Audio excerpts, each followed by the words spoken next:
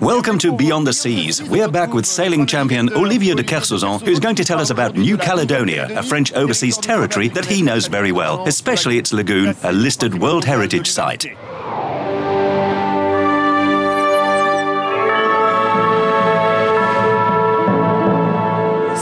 It's an amazing lagoon. So white, not very deep, sky blue white with a merciless sun. Colors you've never seen anywhere else before, and an incredible variety of fish. What's good about a World Heritage Site is that it's rarely unjustified and only very, very exceptional sites in the world are listed.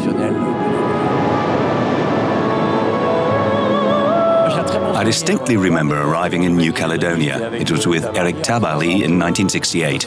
We'd just won the Sydney Hobart and we sailed over here.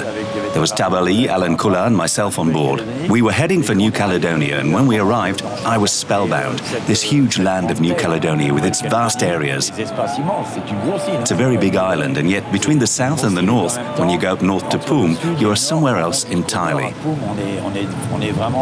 Afterwards, when you go to the Loyalty Islands, to Uvea, Maré and Lifu, it's pure enchantment.